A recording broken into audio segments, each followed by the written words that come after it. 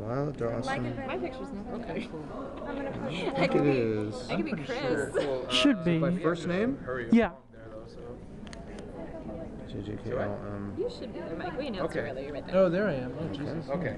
What superhero would you be? dreamy photo. Uh, superhero. I think I would probably be Batman. Oh, that'd be cool. Right there. Which one?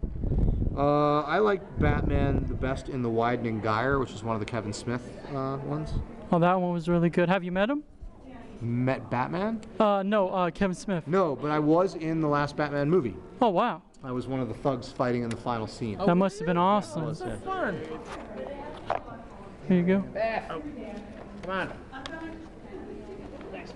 Right here. Wait for me, guys. We're gonna wait for you. John, I'm sorry. You can't get your shit together. We're having dinner. I'm sorry. Okay, that's cool. I'll just not eat then. That's fine.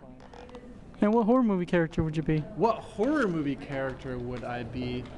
Uh, the Alien Queen. Oh, that'd be good. Good choice. Which one was your favorite one that, out of Alien movies? Well, it's hard to say which is my favorite. Probably my favorite would be um, the first one, but the one that impacted me the most would be the fourth one. I, I have a certain fondness for the imperfection of that movie.